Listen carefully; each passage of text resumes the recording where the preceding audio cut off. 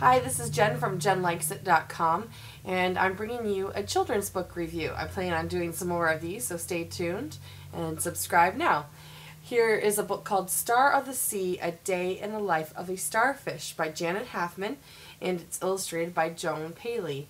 This is a really cute book. Um, the author had it sent to me and it's about a starfish and how it eats and uh, what happens when it loses one of its arms and things like that. So if you see these pictures are really great.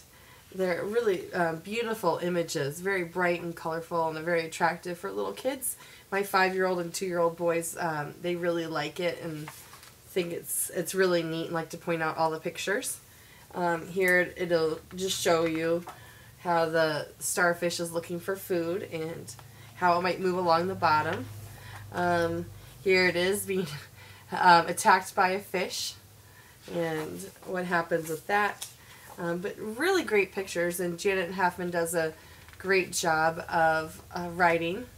Um, it's it's easy to understand. It'd be great for kids, you know, like four to eight years old especially. Um, here you see a starfish losing an arm and then you learn about how it grows back.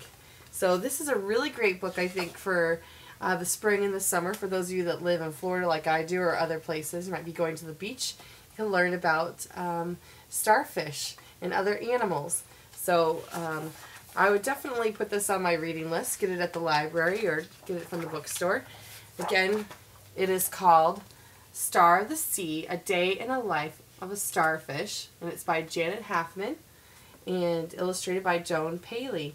So check this one out. I think your kids are really going to love it.